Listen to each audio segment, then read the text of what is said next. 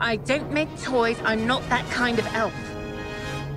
Welcome back to Master the Fun and Elder Scrolls Online. Today we're going to show you a quick little video on where the treasure chest is, the Elsweyr treasure chest for map number one.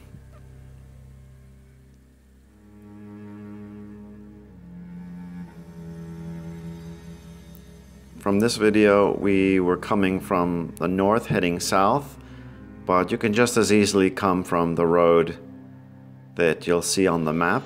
You could just go up the hill.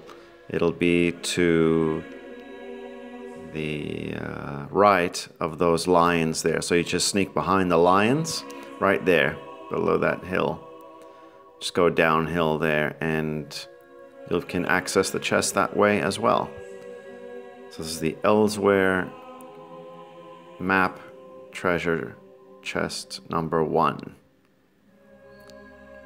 See from that road right there that you see below the arrow to the southwest there. You can just go to that road and you'll find the little hill and go up the hill there.